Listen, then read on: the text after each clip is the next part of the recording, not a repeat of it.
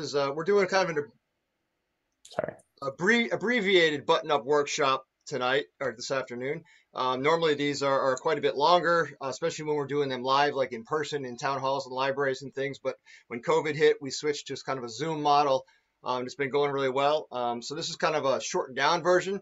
Um, we're going to do our best to get through everything we can do, and we'll have some uh, time for Q and A at the end. And uh, I'll be available, you know, even after that if people people uh, would like. Um, it's sponsored by your your local utilities here, and uh, with, without any further ado, let's let's move along. If I can get my slide to work. There we go. All right, here's kind of an overview of what we're going to cover today. Um, you know, it's a lot of information. I talk pretty fast. I apologize for that. Um, there's a lot of stuff in here. We're going to try to get through it all. Uh, we're not going to be able to cover every little thing on every little slide, um, but you can always contact me later or refer to the slides, you know, as you need to. Um, I saw a bumper sticker uh, after I was teaching for about 20 years, and I was looking at getting into the alternative energy, or renewable energy sector, energy market kind of thing. And I, I saw this bumper sticker, and that really kind of hit with me. Um, I usually ask the, the, the, the, people who are in the audience this question, like, what do you think is the greenest energy? And as you can guess, there's a variety of answers. Usually the first one is solar. Everyone's always raising their hand. Solar is great. Oh, no, you have to manufacture the pile, the, the, the, the panels, and you have to mine the stuff. And what do you do when you're done? And someone says, well, hydro, you don't have to do that. Uh, and then someone says, well, yeah, but you got to dam a river. And then the, what about the fish? And someone says, what about windmills? I mean, there's all these different great answers for what is the greenest energy. But uh, when I kind of thought about it a little bit, I'm like, you know what? The greenest energy that's out there is the energy you're not using at all. It's, it's reducing your energy. So, um, you know, I'm a big fan of some of those renewable energies that I just mentioned. I'm not putting them down in any way. I'm just saying that's that's energy production. And there's always a downside to energy production. There's always like a, a environmental cost, or there's issues that come up with energy production in different ways. But if you're reducing your energy you're conserving your energy, it's hard to make a, a, real valid argument against that. There's not really any downside to that. So that's kind of why I ended up getting into the energy auditing field about 15 years ago when I was looking for sort of a, a change in pace after a, a teaching career.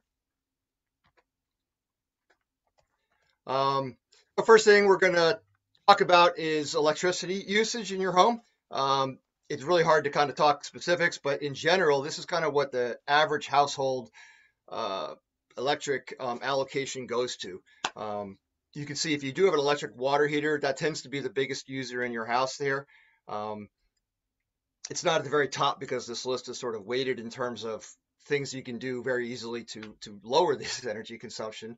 Um, so lighting is certainly up there for most people. Uh, if you don't have an electric hot water heater, obviously that might be your, your top one. Um, but if you do have an electric water heater, that's up there. Refrigerators, for obvious reasons, they're on all the time right? Most people aren't doing um, dishes or running their dryer all day long, but your refrigerator is running all, all day long. So that's up there. Um, dehumidifiers are another one that some people don't know about. Um, I'm not saying don't use a dehumidifier. Uh, if you need to use one to keep your house from getting, uh, you know, too humid or getting mold in your basement or something, that's a good use for that. Um, and you can see the other things, you know, trickle their way down here. Again, this would obviously change based on, um, you know, what kind of household you have and, you know, how you're using your home it can vary quite a bit. If you're looking at trying to reduce your electric usage, one thing you can do is go to your library and check out one of these things called a, kilowatt meter. It's a little white box. You plug anything you want into it, plug it into the wall, and you can, with a little bit of math, you can figure out like what this one appliance is using. Um, can be kind of handy. Uh, another new thing that has come out in the last couple of years are uh, whole house electric meters. This um, screenshot down on the right here is from one called Sense. It's one of the, the leading brands out there. Um, they cost about $200, $250. You don't have to be an electrician to put them in. Um, you do have to have some some comfortableness around electricity because you do have to open up your electric box and do some work in there. Um, but the really cool thing is that you can pull out your phone at work and you can say, oh, look, you know, my son must have just taken a shower because the electric, the water heater just turned off, or the garage door just opened, or somebody forgot to turn off the lights, or someone is vacuuming right now it'll actually identify the unique electronic signatures of each thing in your house, uh, and it can you know sort of keep track of those over time. So if you have something that's like hardwired, um, you know, like a pool pump or your well pump or things like that, or uh, sometimes those things can be malfunctioning and causing you high fuel bills, and you don't really they're hard to track down that kind of thing because you can't plug that into a kilowatt meter. So these whole house meters are really um, handy in that case. Um, you know, I said they're about 200, 250 dollars, but after you you use it for a month or two or six, you can always give it to somebody else or sell it to somebody else, and they could make another round in someone else's house and help figure out what some of their uh, electric uh, abnormalities or mysteries are. This is really silly, and I kind of embarrassed to put it in here, but like shut things off when you're not using them. uh, I'm in people's houses every day doing energy audits, so I'm there for an hour and a half, two hours, two and a half hours. And these are people who are paying good money to get an energy audit to figure out how to reduce their fuel bills. And a lot of times I walk around through the house and there's there's a TV on in this room and there's a whole computer bank in this room and there's music going in the other room and the lights are on in the basement. And you know the, the homeowners in the backyard weeding their garden. There's no one else there using all these things. Um, so I think a lot of us have gotten into you know the bad habit of of just leaving things on when we're not using them. So even there's some uh, you know behavioral occupant uh, changes that can happen to help you reduce on your your electric bills as well. There are some things in your house that, believe it or not, are still on, even though you hit the button that says off. OFF doesn't always mean off. Um, these would be, we call them phantom loads or vampire loads or drips because they're always actually using a little bit of power. Um, these would be anything with like a, a, a the plug-in chargers, things with clocks, remote controls, things like that. You know, when I was a kid, you would uh, you would turn the TV on and then you would go to the bathroom and get your snacks ready. And then by the time you got back to your chair, the, the TV would be warmed up and you could see clearly. Now, you know, Americans don't want to wait for that. So they actually have a resistor in there that is always using electricity for 23 hours a day until that 24th hour when Joe comes home and turns the TV on, it, people want it to come on instantaneously, so it comes on right away. But there's an energy penalty for that. Um, so these things are, you know, they're not, they're kind of increasing in number, and um, they're it's a small little drip, but you know, drips add up. Here are some examples of some things that uh, might be energy drips in your home. Um, the one second from the left, I think, is interesting. The Apple TV, the first generation of those things. When you had it on and you were using it, it used 21 watts of electricity. And when you hit the off button and walked away and you assumed it went down to zero, it actually only dropped to 17. So it's still using almost as much, it was using almost as much power off than it was when it was on. And it sounds crazy, but that's the way some of these things are designed these days. So the way to control that is to get yourself a power strip like this, a smart power strip. You know, like a lot of people are working home right now from COVID. If you have, you know, a printer, a modem, a monitor, uh, all these other things that plug in, you can, you don't have to have them on all the time. You can have them in this power strip, and you can sort of individually control them. And when you turn them off using the power strip, they actually are off, and they're using zero instead of whatever it is they're using, you know, at a resting area. If you don't have LED lights yet, I suggest you go out and get some. Um, they are a world different than the uh, you know the swirly CFLs that you might be used to. Um, that took forever to warm up, and they had mercury in them, and they didn't last long, and everything. They didn't work with dimmers, even if they said they did. Um, LEDs are completely different. There's no mercury in them. They've come down in price tremendously. They will give out the same or more light than your other lights did. Um, so sometimes when I'm doing a, a, project through New Hampshire Saves, I might be changing out, let's say, 10 recessed lights in someone's um, kitchen, in their in their kitchen. So I take out all 10 bulbs, put in 10 LEDs. All 10 of the LEDs put together sometimes don't even use the electricity that one of the old bulbs was using that we pulled out of there. So it's really a, a big difference. Um, a lot of times these LED bulbs are only using, you know, six, seven, eight, nine watts, and they're um, replacing something that was say 75 or 100. Um, they also have these types of bulbs for just about any fixture you can think of. They even have them for candelabra, chandeliers, you know, anything you can think of. There's pretty much an LED solution out there. The one thing I would caution you against is um, getting the ones that say daylight. I know that sounds wonderful. You know, people go to the store like, oh, let's get some daylight bulbs. It sounds so appealing.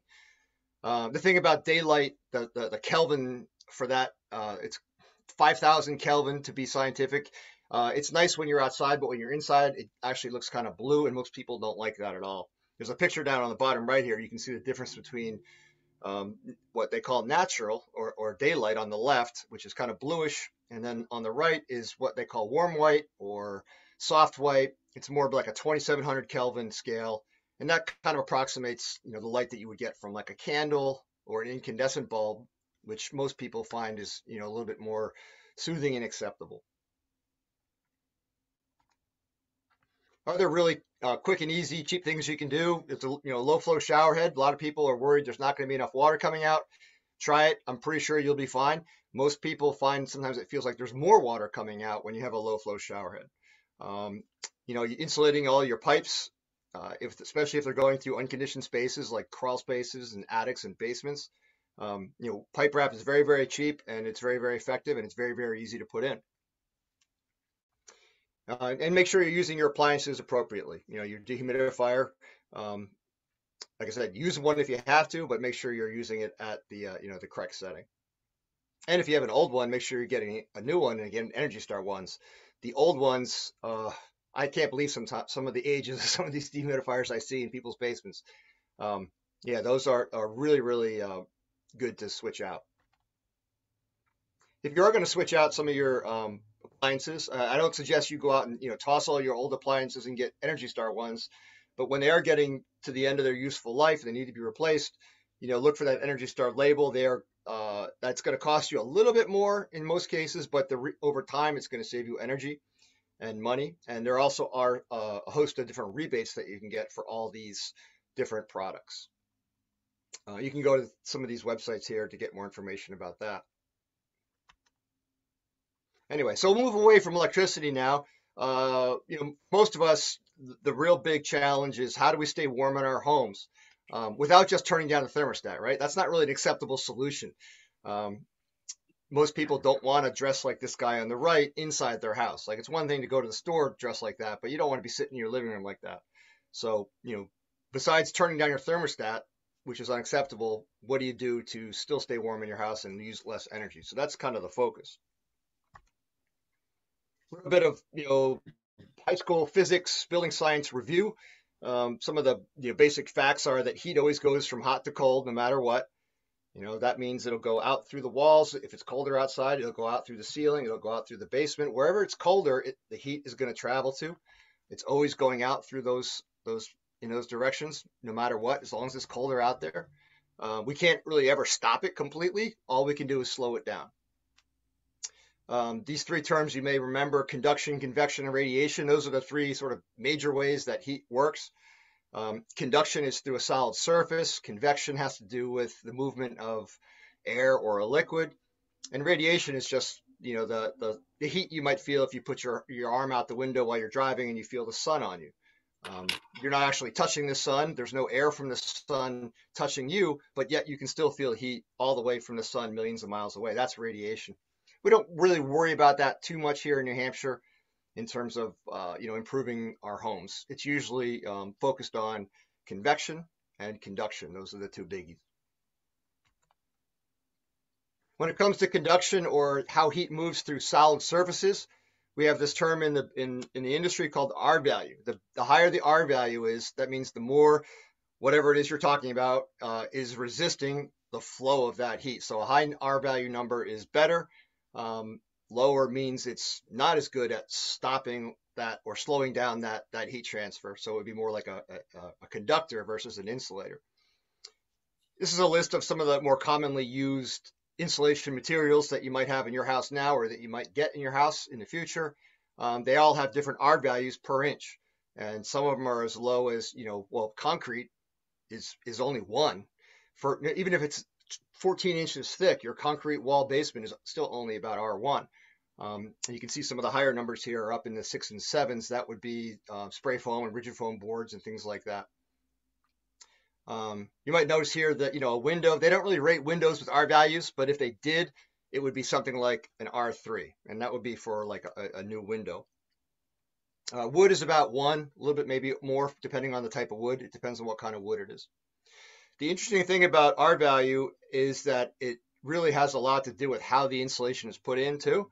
And uh, in my experience in people's attics in New Hampshire and walls and basements, there are a lot of people putting in insulation that have no idea what they're doing.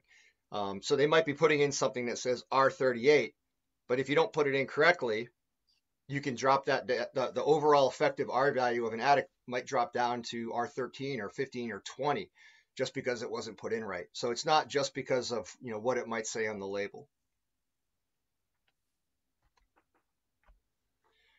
Um, Hampshire is now finally following the 2015 building code. You'll be happy to hear. So we are only seven years behind.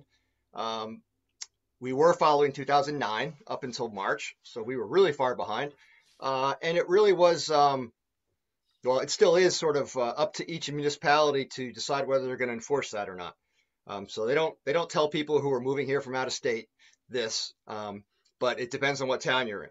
Um, Durham actually is following 2018 building code. They have their own special place on on on the state website, but everybody else is supposed to be following 2015 building code. And you can see the R values here that are listed for the different assemblies in your house. Um, the average house is down below. Um, you know, I'm in attics that are R1 or R0, but most of them are somewhere between 10 and 30. Uh, and that may have been fine. That you know, the, the, building code also is the worst legal house you can build. It's the bare bare minimum. So um, nothing wrong with going going uh, higher than the than the uh, than the R value. We have a little quiz here gets back to that point I just made about, you know, if you insulated an attic with R38, but you left all these gaps, which are represented by those dark marks there, you know, what would the R value be? And most people are shocked to learn it's actually only about R13. And that sounds crazy, but if you think about it and you do the math, um, you can do a conductive heat loss of this assembly. It actually is true. Uh, it's because the, the the raging flow of heat loss through those uninsulated areas is just so massive that it sort of counteracts all the good things that the rest of that attic is trying to do with the R38 insulation. So install quality is super important. All different ways insulation can be messed up. It can be insufficient, which is just not enough R value. It can be incomplete, where it's missing in certain spots. Uh, and also can be misaligned, right? So in the left picture, you can see there, well, there's a bathroom fan there. First of all, it's dumping into an attic. That's not a good thing. Um, you can see that recessed light poking out of a, eh, two or three inches maybe of insulation. So that's certainly not enough. Uh, I can see some bare sheetrock in that picture, so that's certainly not enough. So that's insufficient R value. Uh, in the middle, you can actually see the drywall between those gaps in that fiberglass. And on the far right is, a, is kind of a classic case of sort of misaligned uh, insulation. Um, somebody actually did a good job they used a really good material. Uh, it's it's a foil face polyiso foam board, very high R value, and they did their end walls and their slopes in the attic. But yet there's a gable vent here. I mean that's outdoor light that you're seeing coming through those little cracks. So they didn't quite get the whole concept because it's sort of like having a window open. So all that good insulation is not working at all because it's just not really put in right or it's not in the right place. And uh, this happens uh, quite a bit. Um, I won't embarrass anybody by asking, doing a little poll and asking people to, you know, register their their opinion about whether heat rises or not. I'll just spoil the spoil the surprise and tell you heat does not rise. I know you've probably heard that a thousand times. I heard it just yesterday from someone. Eh, you know, heat rises. No, it does not rise. I already told you where heat goes. If you remember, I told you heat goes where to cold. It always goes to cold. It goes. It, it'll go left, right, diagonal, up, down, north, south. It doesn't care. Whatever's cold, that's where the heat's going to go but hot air actually will rise, or hot liquid if you're talking about liquid. So it kind of appears as if heat rises, but it doesn't really. It's just that something is warmer than something else and it's rising, so people say heat rises. Um, and the way this affects uh, you know energy use in a home is that the warm you know you, the, cold air comes in for free, and then you pay to heat it up, and then it becomes expensive air, and warm air does rise because it is buoyant, so it will rise to the top of a building. Uh, it never stops there though. There's always gaps and leaks and things, and it'll escape. Well, if all the air in your house is, escapes and it doesn't get replaced, you would kind of run out of air and you'd start to feel a little lightheaded. So there's always a cold air getting sucked in down low to make up for that warm air that is constantly escaping out of the top. So that's kind of the, the rundown on how convective heat loss works in a house. We call it the stack effect in the in the uh, you know building science industry. It doesn't really happen, you know, when it's equal temperatures outside, but the colder it gets, the more this happens. So our goal here would be to, you know, not only have a good R value around our house, six sides, uh, it's also to keep that really expensive warm air inside as much as we can. Really easy to remember, you know, where the places where uh, it's leaking are are the most prominent. It's ABC, attic, basement, center. Uh, so the attic is, or the top of your house, if you don't have an attic, that's always where the, the priority is and where most of the air leakage is happening. The basement is the next one. And sort of counterintuitively, in where you live in the center is usually not the biggest um, culprit in this sort of heat loss scenario here. Uh, you know, the common air leaks that you can you find usually in the tops of a building are, um, you know, stairways and hatches that aren't weather stripped, um, chimney chases, pipes, things like that. What I have here is a couple of pictures showing um, stained fiberglass. That's one of the things that an energy auditor will look for in your in your attic, or you can look for it too if you're up there. Um, it's not mold or anything here. It's just uh, it's just like this pink insulation was actually pink at one time, but now it's all dark and stained, and that's because air has been going through that insulation since the first day it was put in there. So it will trap the the pollen and the dust and all the contaminants in the air, even if it's sort of clean air. It's got stuff in it, so that gets trapped by the insulation and you just pull it back a little bit like I did here and you can see like above this little wire hole um, you know air's been coming out of that since the day the house was built. And it's not just coming out of the the bay right below that little hole where that wire goes down to a light switch because if you remember your walls have electric sockets in them which means there's a wire that goes across your wall through every single 2 by 4 so air can actually travel you know through horizontally through uh, bays of walls and then get into this one and then go out through that little hole at the top. Um, it'll happen in a one story home, two story home, doesn't really matter. But if you give it enough time and put insulation over it and pull it back, this is usually what you see. So stained insulation is sort of a uh, easy way to go and look for air leaks up in your attic. Anyone have any uh, you know, think this is a good idea. This is a uh, this is a, uh, a attic hatch I saw that was made out of pegboard. You know, pegboard is stuff you put in your garage. It's got holes in it. You move your little hooks around for your rakes and your shovels. Like, you know, luckily the I, I didn't I opened my mouth up and I was about to you know say well, who did this? This is such an idiot move. And luckily it wasn't the homeowner. Um, he said it was like it's been like that for 10 years. This is how I bought the house. You know, so for the last 10 years, air has been spilling out through these little tiny holes into his attic. Expensive air. Um, not to mention that this is only, you know, a quarter inch thick, this little hatch, and wood is only R1 per inch, so it's like R.25 maybe at the most. So little things like this can uh, add up to quite a bit.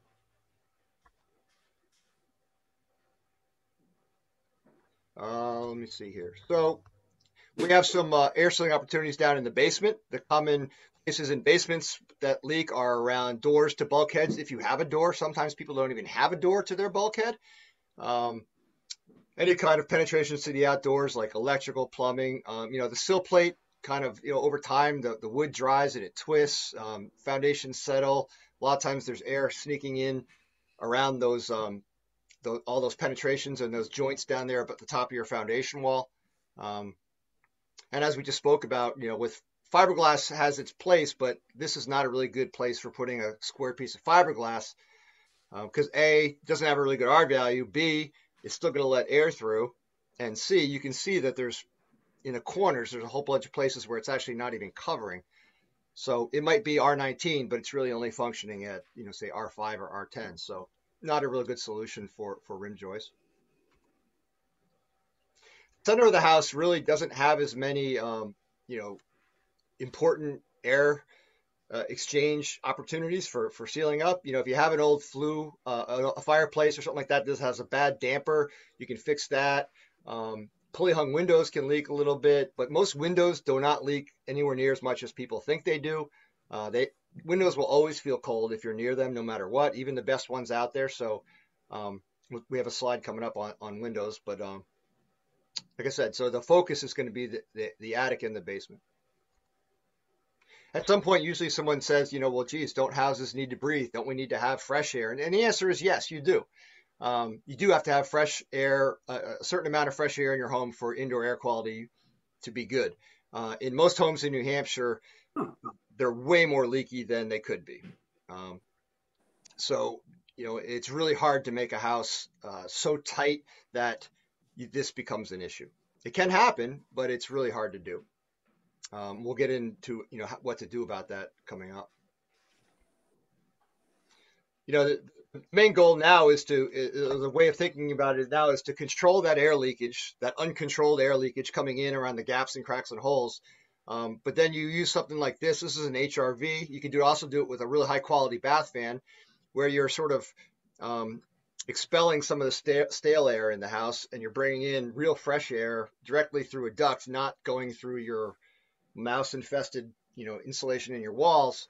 Um, and using a heat exchanger there so that you're, uh, you know, you're recovering as much of that energy as possible. So that's kind of the new way of, um, a newer way of approaching uh, houses.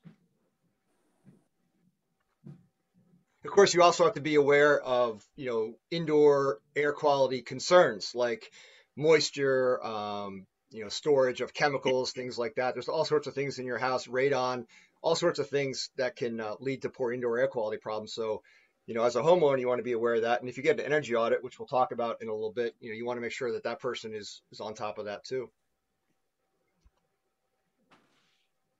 at this point, you know, with a with a quick little lesson there, you probably know what's going on in this house, right? Hopefully, this isn't anyone's house on, in the audience. I don't think it is. I think this was taken over in Vermont. Um, but you know, ice dams are a classic uh, clue that usually means, well, one or two things are happening, or both things. Number one, there's not enough insulation in this attic, or maybe there's enough insulation, but there's just tons of places where the warm air from the house can leak up through the insulation or around it and get into the attic and make the attic really, really warm. When the attic is warm, it melts the snow. The snow comes down, it hits the edge of the roof where it's not warm anymore, and it freezes like it's supposed to. There's nothing wrong with the roof there. Um, the problem is that that attic is too warm. Uh, so that's a kind of a, a, a thing that a lot of people don't understand. They think there's something wrong with the edge of the roof there, and it's really not that at all. And hopefully now you know this is really not a safe and easy way to get rid of ice dams on your roof. I took this at a, a hardware store locally here in New Hampshire somewhere, driving around. Um, I mean, it's not false advertising technically because if you do put this stuff up there, it will get rid of your ice dam. I'm not going to lie. Uh, the problem is when it snows again, you're going to have another ice dam because this is only like a one-time solution. It's you haven't gotten at the root of the problem yet. Um, I don't think it's also very safe to get up there on a ladder with a 50-pound sack of the stuff on your back and try to sprinkle it around. You know. Uh, so important to, to look at the root causes of these issues. You know, at some point you might think, you know, maybe we need to get some professional help in here. And that's where a home performance contractor or an energy auditor might step in because um, they're going to look at your whole house as a kind of a whole system. They're going to do combustion safety testing. Um, they're going to look at how everything's all connected together, the crawl space to the attic, to the walls, that kind of thing. Um, BPI is one of the national organizations that uh, certifies and trains people to do this. Um, there are other ones out there, but um, yeah, you want to look for for somebody that has some uh, some training and some certification. If you do get an energy audit, one of the things you might see is this big red thing, which is a blower door. A blower door is actually actually it's, it's code requirement now for every new home in New Hampshire to get one of these tests. Uh, I've been doing a few of these more and more for different towns. Um, Chichester, I just did one last week. They are now apparently uh, making sure that every new house there gets a blower door test, but there are lots of towns that that are not doing this. Um, it's kind of uh, sucks all the air out of the house essentially. It's a big fan. You close all the windows and doors, and you can measure the leakage of the house, so you can see how bad is this problem. Um, once you find out if it's a bad problem or not, um, which it probably is, then you can help figure out where it's coming from. Um, you can also figure out um, with this machine, you can figure out how, how tight can we make this building to save on energy bills before we have to start worrying about indoor air quality problems, which gets back to that, you know, putting in a, an HRV or something like that that we talked about before. You, you can't just guess at that. You have to run a test to know. Um, another thing you might see if you get an energy audit done would be an infrared camera. An infrared camera is actually, it doesn't see through walls or anything crazy like that that people think it does. It actually, all it does is tell you the temperature of the surface you're looking at. And then it's up to the person to sort of figure out, well, what's going on there. So when I was looking at this wall here, the HOME sign, the home sign, well, the HO is really dark purple and the ME is just kind of a little bit purpley. And then you have some other yellow in there too. So they're all different temperatures. They shouldn't be different temperatures. There's something going on there. Uh, so you're looking for you know things that stand out or anomalies and that kind of thing. Um, and this was an interior wall, even it was a laundry room on the other side of that. So it's up to the person doing it to sort of figure out what's going on here. But the infrared camera can be really helpful for figuring out difficult things. Um, honestly, I don't use it in every situ- in, in, every single audit, and I don't get anything from it all the time. But it can be really helpful. Um, you can also see, you know, air leakage coming in. So this bottom right picture, you can see that there's these like fingers or wisps of purple, which is indicates cold. Um, you can see those coming in where those wooden um, tongue and groove is kind of going across that beam there. So infrared imaging can be really, really helpful, but not necessarily, um, you know, essential in every person's home. So again, you know, like what do you do about all this, these problems? Well, first of all, you go back to your ABCs, right? Attic, basement, center. Think about that, but you also have to think about air sealing has to come first. Um, you got to stop that air leakage first. It's really hard to get in there after you blow all this cellulose to go in and find all those leaks and fix them. It's a lot easier to do it first. And if you don't do it, then you put all this insulation in, the air is still going to be leaking out. So you've sort of solved one problem, but you're still not really solving the other problem. I kind of think about it like if you go skiing with a big down jacket on on a still day, it's not so bad. But if you go up to Cannon or something and the wind picks up, all of a sudden this really expensive thick down jacket doesn't feel that warm anymore because the air goes right through it, right? So think about it that way. Air sealing comes first. This is a picture of uh, a, a gentleman air sealing around a chimney. Um, you can see there's a couple different colors in there. The red is fire caulk because that has to be against the chimney. Um, the white is metal. The other stuff is foam. There's you know there's certain rules on how you can do chimneys and things like that. Uh, this picture on the right is interesting. Actually, this is a person who had all their insulation removed, and then there were so many little holes, they just decided let's put an inch or two of spray foam over the whole attic to seal it off completely, and then they added cellulose on top of that. So there's lots of different approaches, you know, to how you would do this, but there are definitely some, you know, principles to it that need to be followed. There are more some pictures of, you know, you, what you might get if you if you did hire a home performance con- uh, contracting company to come in, you know, through New Hampshire Saves or maybe or possibly not, and to do work. So on the right is a drop down stairway. You know, when I got there, this was just open right to the attic, nothing there at all. Sometimes people have those little zip in tents that they don't really do a whole lot. So this is a, an actually insulated um, cover over that with exterior grade weather stripping on it. Um, and over there, you can see another attic hatch. Um, we got a barrier there to keep the cellulose behind an area that the homeowner wanted to have some storage up there. Um, so there's lots of different ways of sort of looking at all these different spaces and, and what to do about them. There isn't really any like, you know, oh, spray foam's the best because it has the highest R value per inch. Well, that's true, but that doesn't mean it's it's the best in every situation. Other examples of, you know, professional level uh, attic improvements. This person on the left, you know, really wanted to make sure they had some storage right around that little opening. Um, and on the right, same kind of thing. I think there was a we had to build a little wooden barrier there and a walkway to get over to the air handler unit, which was on the other end of the attic uh, behind me in that picture. Um, and they did a really good job with this little uh, you know L-shaped insulated hatch that fits over there when you're done. Moving down to basements, you know, first of all, make sure that if you have a water issue down there, things like that, you got to take care of that stuff first. Uh, once you do take care of that, you know, then you can start thinking about insulating the walls. Usually the walls, usually you don't want to do the ceiling in, in, in most basements because usually below that there's pipes, there's boilers, there's furnaces, there might be laundry. Um, so the walls uh, is usually the best way to get that thermal barrier on the six sides. So you got the top, the four sides, and the bottom. Um, and that can be done in different ways. Um, you know, a lot of times this is good to get a professional in here to to look at the best way of doing that. Um, spray foam can work, but it's not necessarily um, you know, appropriate in every case. On the top left, you can see rigid foam board is being used instead. Kind of a good before and after picture on the bottom. You know, obviously on the left was the that's going to the uh, the, the bulkhead. You know, a nice door in there does a great job. Center again, not a whole lot you can do. Chimney balloons help, some weather stripping, things like that. But don't focus on the center. You want to focus on the, the A and the B. You do have empty walls, which there are lots of homes that have empty walls. Um, that is really not something you can do yourself. You have to get a, uh, a, a contractor to do that because the equipment that you might get, like at Home Depot, to blow cellulose in your attic is not the same as what you need to do this kind of work. So.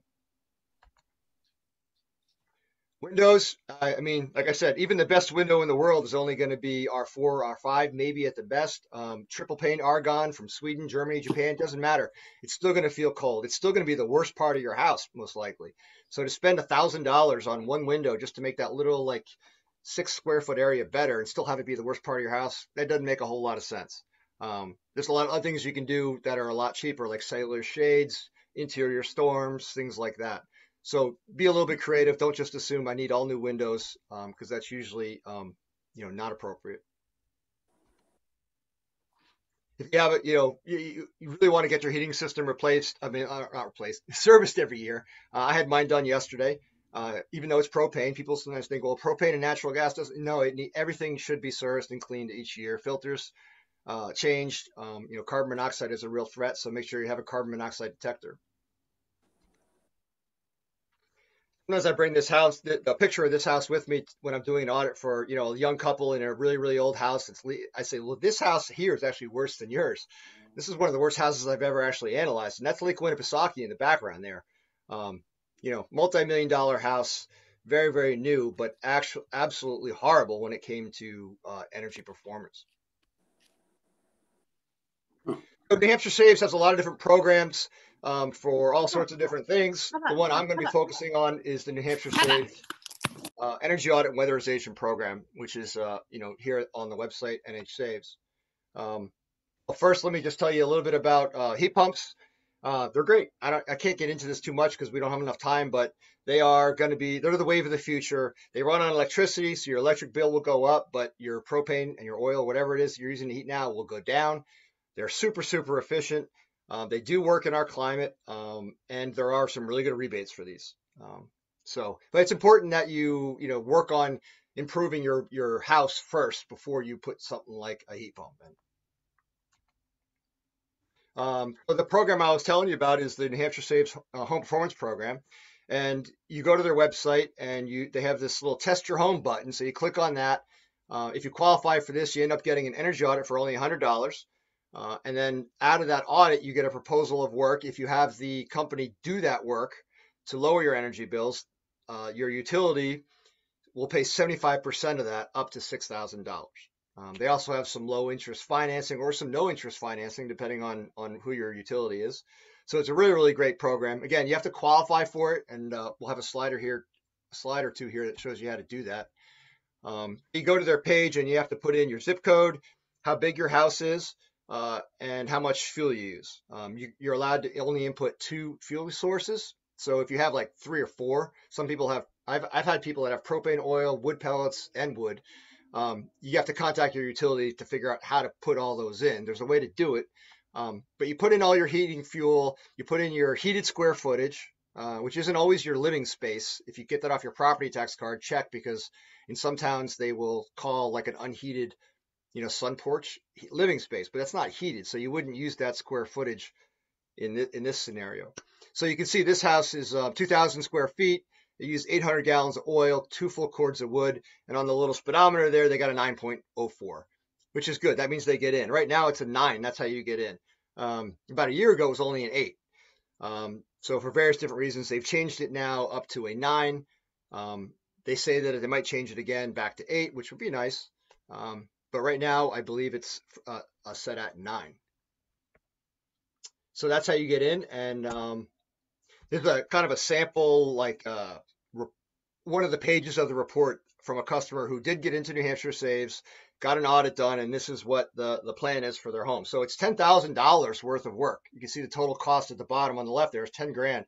Uh, the the utility rebate is actually going to be six thousand dollars. So they max that thing out. They're going to give all the money they can to this, and that leaves the 4,109 for the customer. Um, so you'll get a report like this that'll tell you all the different things, you know, that are being proposed to your house.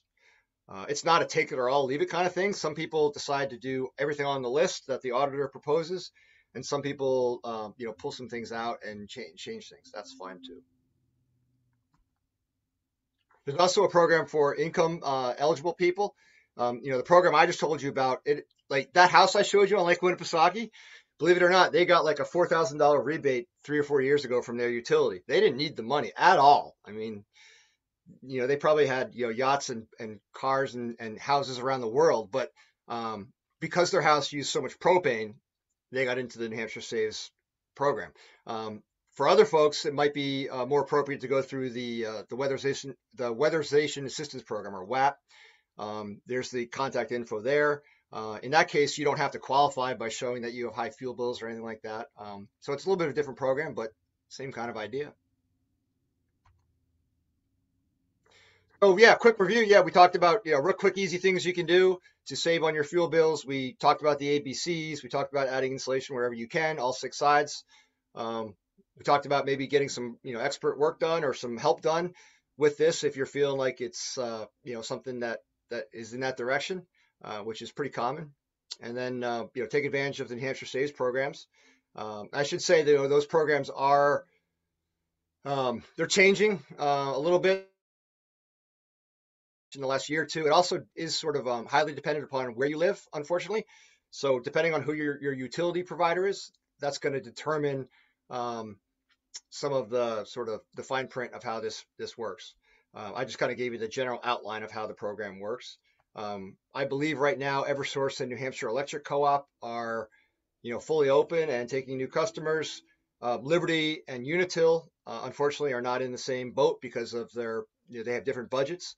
Um, so that's uh, just something you have to be aware of. This is my email if anybody wants to jot that down. If you have anything that comes uh, comes to you afterwards, um, feel free to email me and I can uh, I can help you out with any questions you might have. Uh, if you know any other, um, you know, usually it's towns that are putting this on or energy committees in towns. If you do know of anybody who might benefit from this type of program, um, here's the uh, the people who, who kind of coordinate it. It's PlymouthEnergy.org. Uh, it's Plymouth Area Renewable Energy Initiative. Um, they're the ones that coordinate that. So you can get a hold of them and um, possibly get one of these presentations uh, in your own house, uh, in your own house, in your own town, uh, usually in a library or a town hall or things like that. So at this point, I think you know we can open it up to anybody who has questions. You can feel free to unmute your, unmute yourself and uh, fire away.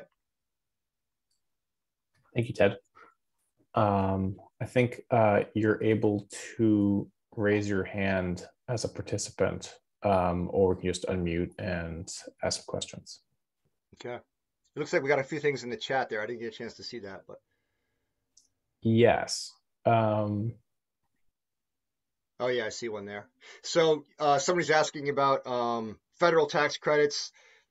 Usually, when my customers ask me about that, I say I've been advised that I am not a tax professional uh, blah, blah, blah. But I do think that there are some federal rebates you can take advantage of. It's usually only for the materials themselves uh, if you get a project done. So, you know, and generally speaking, that that's about a third of the project most of the time. So let's say you, if you did a, a $9,000 project in your house, the materials for that project are most likely going to be around $3,000. So that's kind of all you could claim if you could claim it on your, your federal tax form, I think.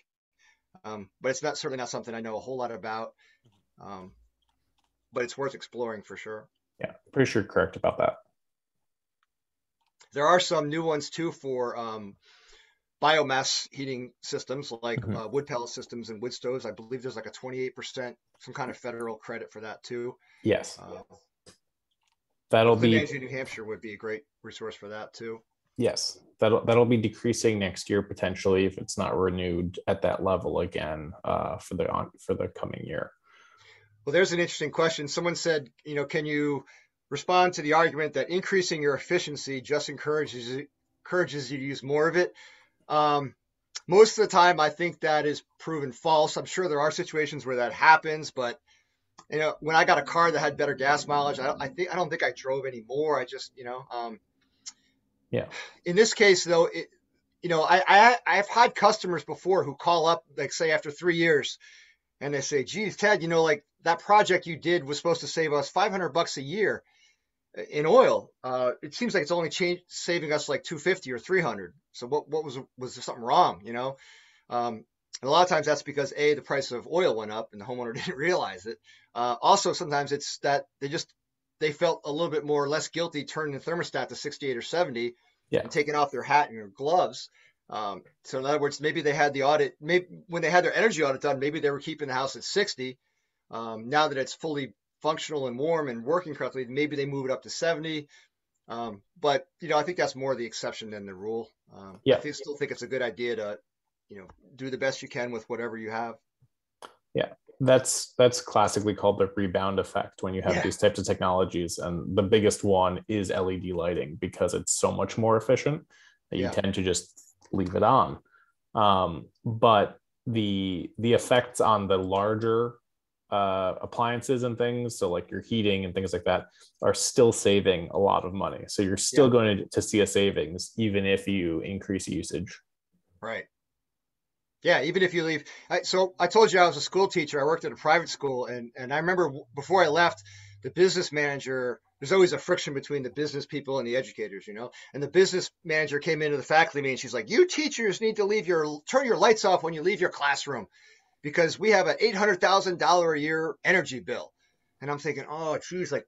First of all, most of our classrooms were, were LEDs. Most of them had occupancy sensors. So if the teacher didn't move around, like the, the lights would shut off. Um, but even the ones that were incandescent lights or maybe fluorescent, like we could have left all of our lights on for the whole holiday break for three weeks and it wouldn't even have been a drop in the bucket because we had buildings on our campus where the snow wouldn't even melt. I mean, it wouldn't even stick. It would just melt immediately because the attic was so, I mean, most of that $800,000 uh, a year energy bill was propane and oil. Very little of it was electricity and very little of that electricity was lighting and Yes. even less was, you know, classrooms where people leave the lights on. It's just it's just sort of um, weird sometimes how people get focused on the wrong thing. Yes. Um, I can answer uh, Marco's question is that the current uh, funding for NH Saves was extended to 2023.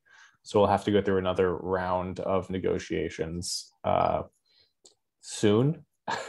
Yeah, um, bec- because of that, because we they pretty much just extended the 2020 level through 2022. Um, so we'll be waiting on that. Um, yes, and those the slides will be available afterward, and we will be recording this, so this will also be available.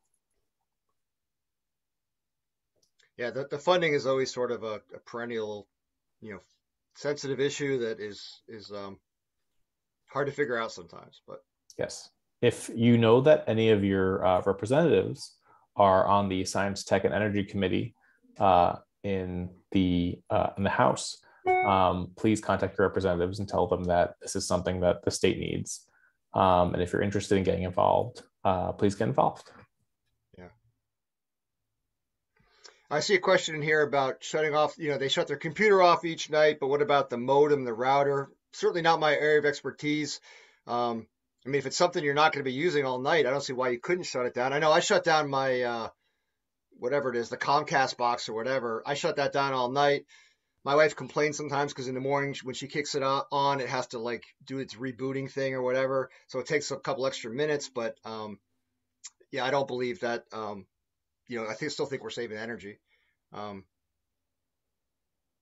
so yeah, anything you can shut down for extended periods of times, you know, if you can do it safe, I don't think there's any damage you can do to the equipment or anything like that. So No, I, I think it would be marginal savings. I think the bigger things you can do is uh, unplugging larger appliances that will continue to operate. And uh, like you had said earlier, you can search to see what their idle usage is or get one of those meters to see what their idle usage is because it may be very insignificant or it could be something that's much higher. You could have a, a larger phantom load or something that you don't think is drawing a lot of power that is. sure.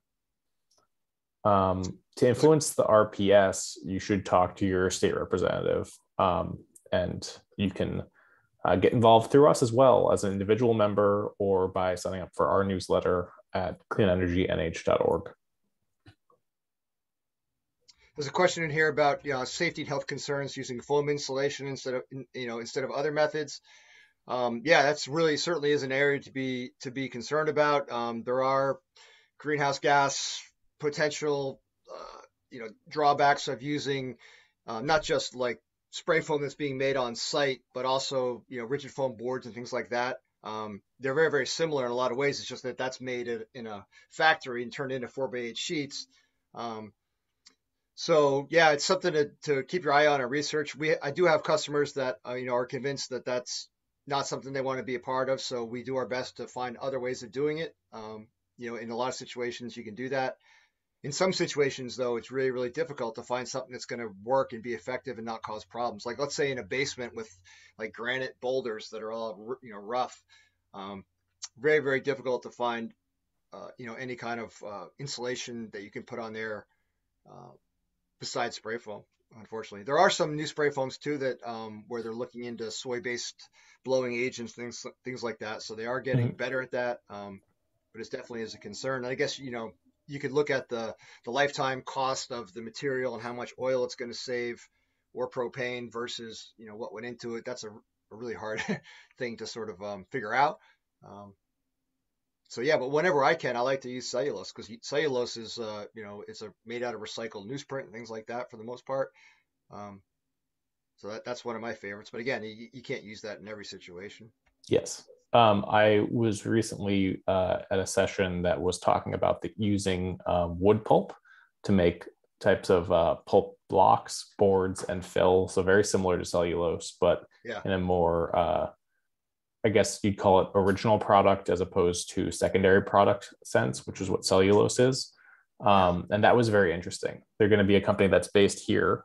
So I think the the fact the manufacturing plant is going to be based in Maine, um, and they're going to be, be making others in the area. So taking the refuse from wood mills that are already being used, making that into insulation. So mm. it'll be a byproduct, but first first iteration product very good R value, very good fire resistance, very low on the issues that could come off of it in regards to health issues or byproduct.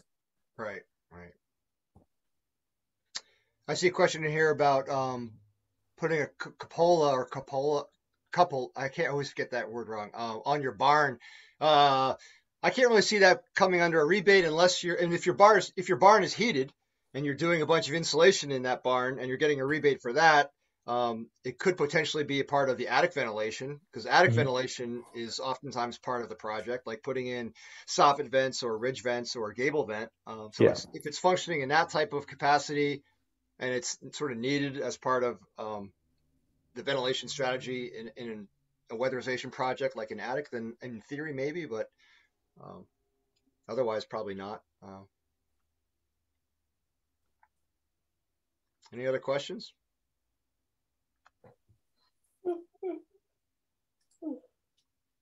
I think I heard somebody there, but I couldn't make out what you were saying. Uh, feel free to unmute and ask a question if you'd like as well. Hi, this is Bonnie Christie in Hopkinton. Hi, Bonnie. Um, just hi, a great, great program. Um, I want to have this in, done in our library as soon as possible. Um, Great.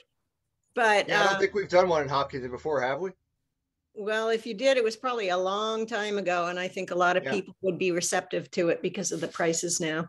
Yeah, oh, um, oh, definitely. Yeah, they we usually wait. We try to wait like two or three years to re, to return to towns, but uh, yeah. even if you have had one, if it's been a couple years, they will definitely be open to uh, you know doing one there. Yeah, and um, I just I'm I'm putting in heat pumps, and I um, you know, my contractor said, oh well, they've used up Eversource has used up all its money for this year. There's no rebates left. And um, so I, I called Eversource and I got customer service and they didn't really know anything about it. And they sent me to billing and they didn't know anything about it. And they sent me back to customer service. And then yeah. finally well, got a phone number for New Hampshire Saves. And I, it rang, you know, I was on hold forever. And then I called the office of the consumer advocate and he called Eversource or New Hampshire Saves and they promised they'd get in touch with me, but they didn't. So well, How do we get through? I just why don't you, if you want, you could send me an email at that email address, and I can give you the contact person at uh, at Eversource. Um, oh, I, I think did you ask the same question in the beginning in the chat? I can't yeah, remember. Somebody, I did. So, yeah. so I, right before we started, I emailed my contact at Eversource, and I said, "What's the status of heat pump rebates right now?" And he said, "This is a quote: The program is open for business."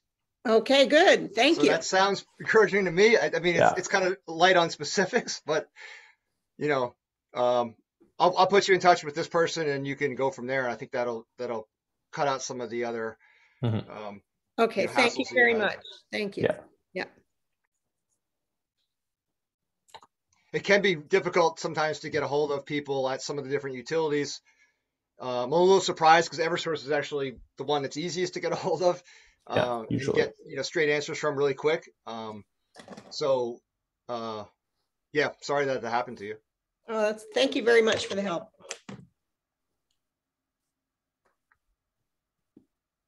Okay. Well, if that's all of our questions, we're up at the hour. Um, thank you everyone for being here. Uh, Ted's email is up right here. My email is joshua at cleanenergynh.org. Um, I hope that uh, we had answered all your questions. If you have any more, feel free to email us. Um, our website, cleanenergynh.org, has a lot of answers to this, also links to the NH Saves website um, and we'll be around to answer any of your questions. Thank you, and I hope you guys have a good rest of your day. Bye bye. Bye bye. Thank you, everybody. Thanks, Josh. Thank you.